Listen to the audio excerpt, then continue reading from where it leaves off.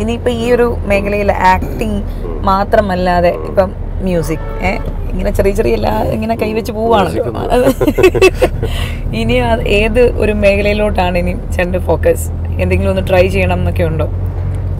Try ചെയ്യണമെന്നുണ്ട് പക്ഷേ അത് ഇപ്പം ഞാൻ ചിന്തിക്കുകയാണെങ്കിൽ അതൊരു അതിമോഹം പോലെയാവും. കാരണം നമ്മൾ അങ്ങനെ കാര്യമായിട്ടൊന്നും സിനിമയെക്കുറിച്ച് പഠിക്കുക അല്ലെങ്കിൽ ഒന്നും ചെയ്തിട്ടില്ല. അപ്പോൾ മനസ്സിൽ ആഗ്രഹമുണ്ട് പക്ഷേ ഒരിക്കലും അതൊരു ഒരു ഇമ്മീഡിയറ്റ് ആയിട്ട് ചെയ്യണം എന്നുള്ള ആഗ്രഹമൊന്നുമില്ല.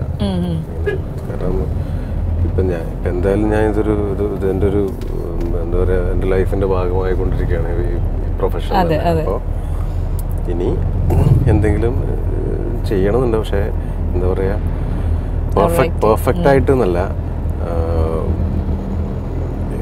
അത്യാവശ്യം അതിനെക്കുറിച്ചുള്ള ഒരു ഒരു ഒരു ഒരു ബേസിക് ഒരു വിവരമെങ്കിലും വേണമല്ലോ.